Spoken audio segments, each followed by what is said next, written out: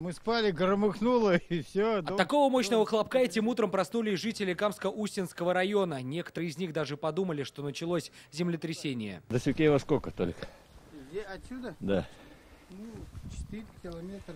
Ну, тоже ребята говорят, что Ну, и, тря- и трясло их. Все произошло в 5 утра, и только спустя несколько часов жители узнали, что причиной всему стал взрыв на местном руднике. По нашей информации, взрыв произошел буквально в 5 метрах от выезда из шахты. Сейчас это место скрыто от нас за деревьями. Увидеть все своими глазами и попасть на территорию у нас сегодня просто не получилось, потому что средств массовой информации сюда не пускают. На заборе висит вот такой вот замок.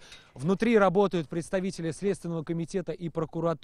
И комментировать ситуацию на месте они просто отказываются. Что именно случилось этим утром на гипсовом руднике, позже нам рассказал прокурор Камско-Устинского района. По предварительной версии, два сотрудника предприятия «Фоника Гипс» закладывали взрывчатое вещество аманал. Уже когда возвращались обратно из шахты, остатки аманала, которые каким-то образом оказались в машине, хотя быть их там не должно, сдетонировали. 25 килограммов взрывчатки буквально разорвали автомобиль на мелкие части.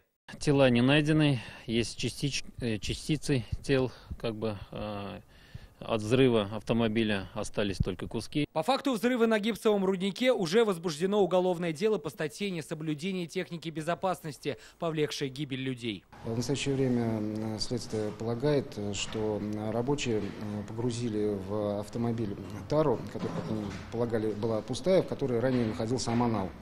При этом они не убедились э, в отсутствии взрывчатки. Когда автомобиль выехал за пределы гипсового рудника, произошла детонация. В рамках расследования уголовного дела будет дана правовая оценка действиям должностных лиц, ответственных за обеспечение безопасности на производстве. Уголовное наказание по статье предполагает до 7 лет тюрьмы. Следствие продолжается. Сергей Хайдаров, Рамзиль Гарипов, ТНВ, Камско-Устинский район.